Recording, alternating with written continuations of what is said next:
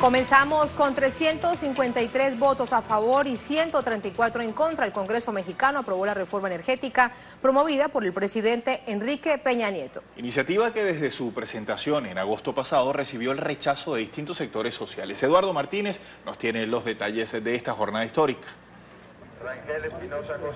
Fueron horas de incertidumbre para los integrantes del Movimiento de Regeneración Nacional Morena, que desde afuera de la Cámara de Diputados seguían la votación de la reforma energética.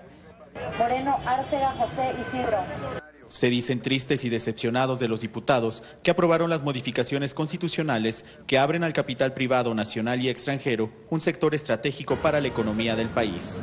Es un golpe muy fuerte, primero como identidad de mexicano porque traíamos siempre como un orgullo del mexicano que nuestro petróleo era de la nación.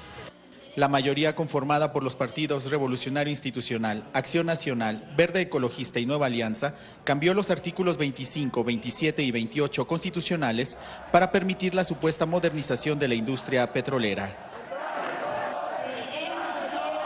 Ricardo Villarreal García, PAN, a favor.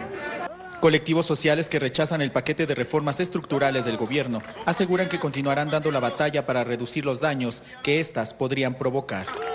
Se debilita la balanza de divisas de nuestro país, pues el petróleo ha sido el principal instrumento para obtenerlas.